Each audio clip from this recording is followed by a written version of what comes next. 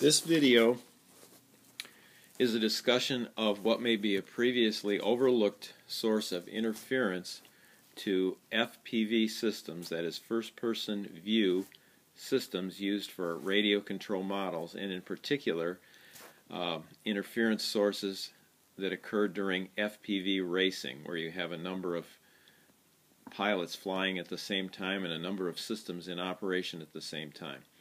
Previously, we have been looking carefully to avoid adjacent channel interference, but I want to stress that what we're going to discuss here today is not related to adjacent channel interference. Adjacent channel interference occurs when we pick channels that are too close to one another and the receivers that we use are not able to distinguish between those channel frequencies and we get some bleed over from uh, an adjacent channel.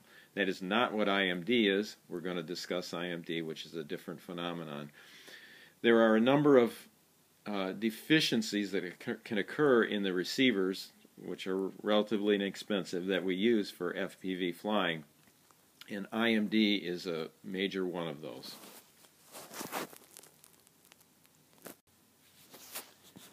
Intermodulation distortion, or IMD, is a well-known phenomenon in radio communication. A Google search or a textbook search will reveal a great deal of information about that, and I encourage you, if you have interest in more of the technical details, to do that. Intermodulation distortion can be thought of as a result of two or more strong signals entering a receiver and producing new frequencies that in some cases interfere with the desired frequency that we want to receive from our transmitter. Be clear that this is a result of new frequencies being generated in our receiver. The most problem problematic uh, situation is with with what is called third order IMD, and that's what we'll uh, consider here.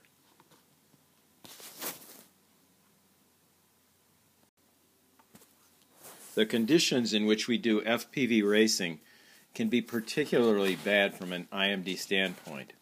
That's because we often have two, three, four, five, six, maybe even more transmitters all close to one another uh, physically and close to the receivers in some some cases, and many cases the transmitters are quite strong in power. IMD is generally not a problem for a single flyer flying by himself without other uh, people in the same band. IMD can also be produced in transmitters, however, our testing has shown that most of the troubles that we see, if not all of them, are uh, a result of problems in the receiver. And again, these are deficiencies in the receiver that cause IMD to be a problem. Next, we'll show a demo that illustrates IMD, showing it with actually happening with uh, some FPV systems that we have.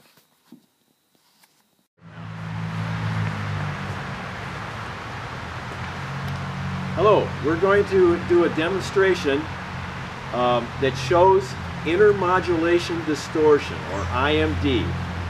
We have here a quadcopter that is uh, powered up and transmitting video signal on 5945 megahertz. Here we have a receiver set to the same frequency and we can see we get a clear video picture.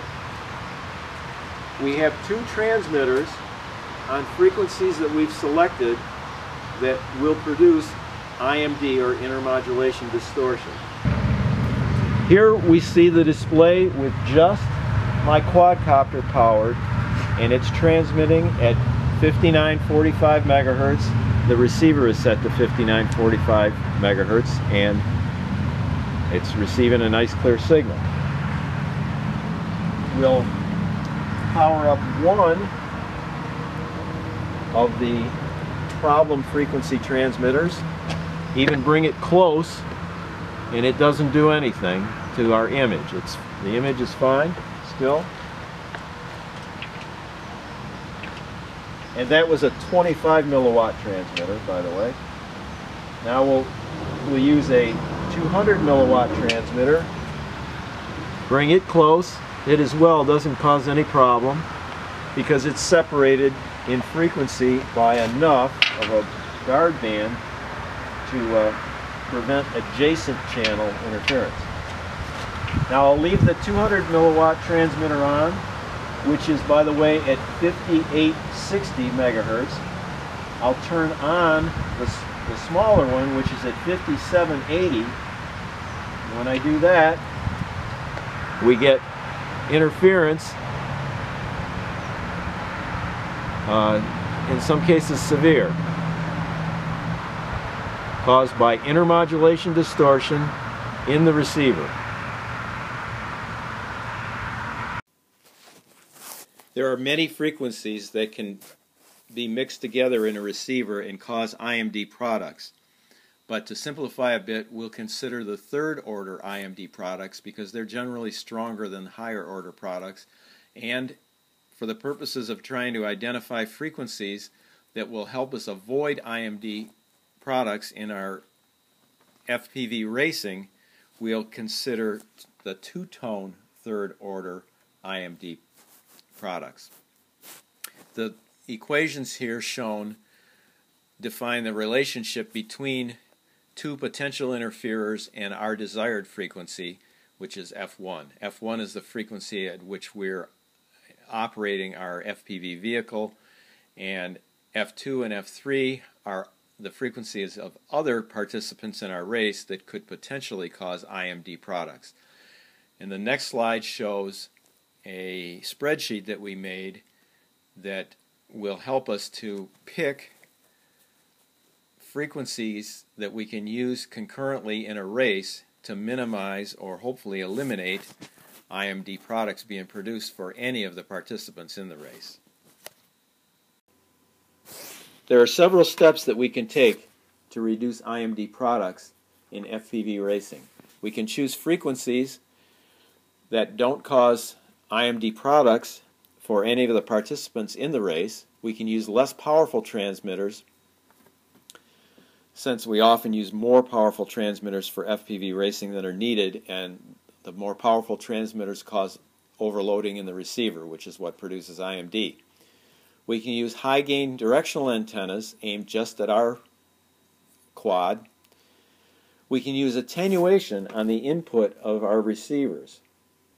This helps because whatever factor our receiver signal is reduced by, the IMD products, the third order IMD products, are reduced by three times that factor. So for instance, if we use a 5 dB attenuator on the input of our receiver, the IMD products are reduced by 15 dB. We have a demo in the next slide to illustrate this. We can also use a mix of right and left hand circularly polarized antennas. That will reduce the strength of potential interferers in our races. And we can use better FPV receivers that have better IMD performance and it would hopefully we'll be able to test receivers in this respect and make recommendations in the future. Now we've put a, uh, a 5 dB attenuator on the input of the receiver. Uh, it's improved the situation. There still is some interference, but the idea of the attenuator is because these are called third order IMD products, the distortion products go down, are reduced three times faster than the desired products. So with a 5 dB attenuator, we are attenuating our desired signal from the quadcopter by 5 dB, but we're uh, reducing the IMD products by 15 dB. So this is one possible way to help us uh, avoid the IMD problem just to demonstrate this. It seems as though the problem of IMD products has not been considered for FPV racing. And of course, there are many causes of interference that can plague FPV racing. Not all will be IMD. Whether or not we have IMD products is highly dependent on our receiver design, our transmitter strengths, the distances between transmitters and receivers, and the general environment. In our testing, we have seen that if the distance between potential interfering transmitters and our ground station was 100 feet or less, the potential for serious IMD interference existed. That's a condition that easily can occur in FPV racing. Thank you.